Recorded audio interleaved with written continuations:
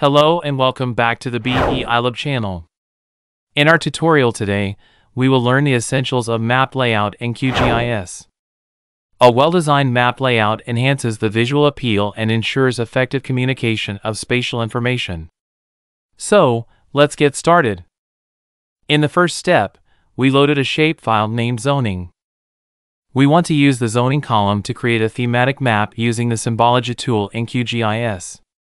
To do this, click right on the shapefile and select the properties. A new window will appear. Click on the highlighted section at the top of the page and then select the Categorize option. In the new window, click on the Value box and choose the zoning column.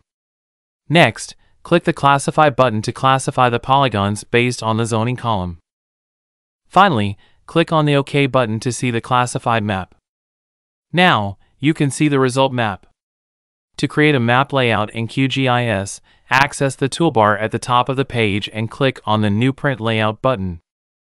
Provide a name for the new layout, such as Map, in the dialog box and press OK.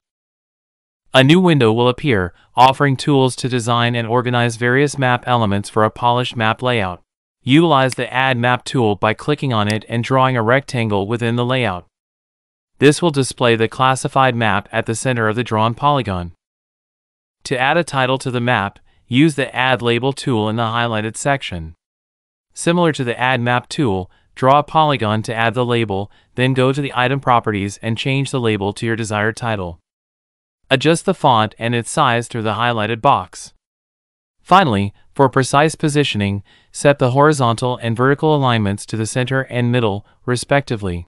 To add the north arrow option, click on the Add North arrow and draw a polygon where you want to put the arrow. After adding the map, proceed to click on the Add Legend option. Draw a polygon to determine the legend's position on the layout. If the legend size exceeds the layout size, consider modifying the layout size initially.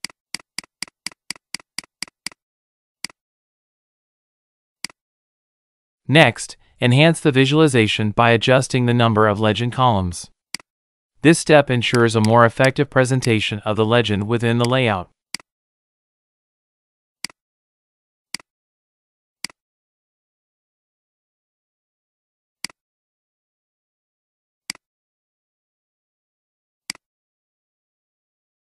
Concluding the map layout process, you have the option to export the map in various formats. Navigate to the Layout option at the top left corner of the page and select the Export option according to your preferred format. In this example, we chose the PDF format. The result is the exported map in PDF format, providing you with a shareable and printable version of your map layout created in QGIS. Thank you for joining us in this exploration of map layout creation in QGIS. If you found this tutorial helpful, don't forget to give it a thumbs up subscribe for more geospatial content, and share your thoughts or questions in the comments below. Your engagement is valuable to us. Until next time, stay tuned for more insightful tutorials.